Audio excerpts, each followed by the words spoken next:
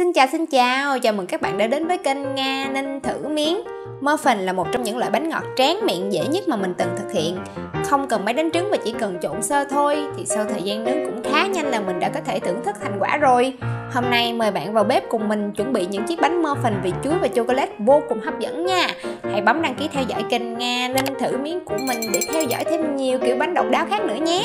Lò đã nóng rồi, vào nướng thôi nào.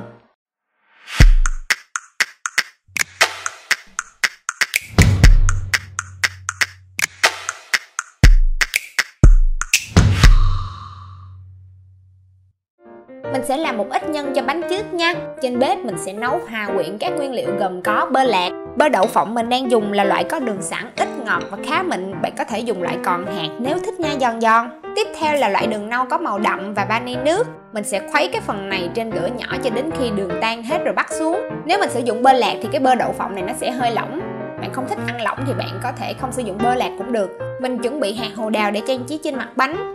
Mình rang sơ hạt hồ đào với bơ lạc và một ít muối. Vì mình làm khuôn 12 cái nên sẽ dùng 12 hạt nha. Bạn có thể dùng các loại hạt yêu thích khác cũng được nha, Nhưng phải để mắt tới hạt vì nó dễ khét lắm. Bật nóng lò ở nhiệt độ là 180 độ C. Trong một cái tô lớn, mình sẽ cho vào đường và bơ đã đun chảy. Giờ mình dùng phới lòng để đánh cho đến khi thấy đường tan hết ra luôn nha. Cho trứng vào luôn một lần. Thêm cả vani nước Trộn đến khi thấy trứng hòa quyện vào bơ là được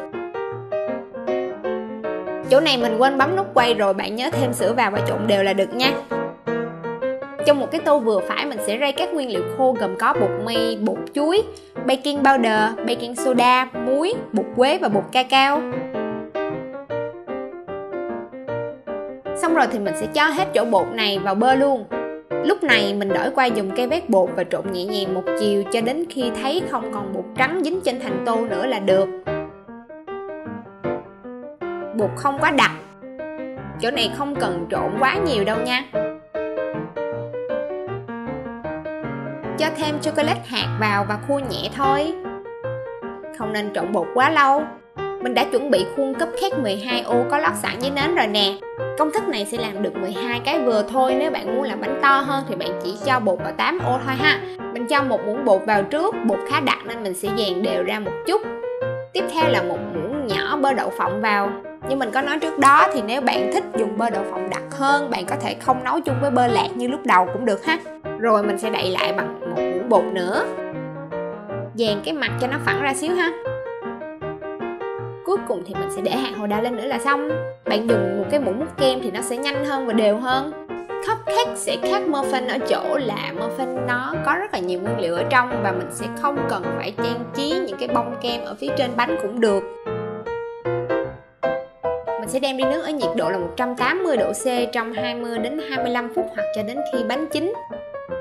Tuy muffin có kết cấu hơi đặc nhưng bên trong lại khá ẩm và quan trọng là mình không cần dùng tới máy đánh trứng luôn.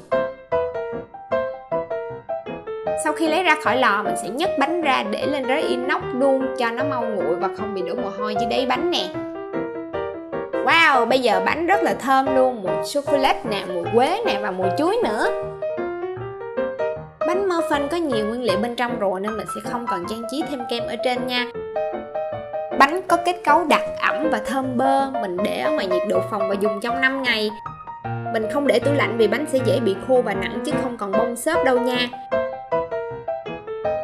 bạn thấy bánh rất dễ làm luôn có đúng không? Nếu thích hãy bấm đăng ký theo dõi kênh Nga Ninh thử miếng của mình để xem thêm nhiều món bánh khác nữa nha.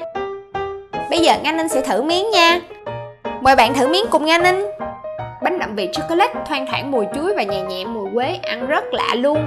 Cảm ơn các bạn đã theo dõi. Hẹn gặp lại các bạn ở món bánh tiếp theo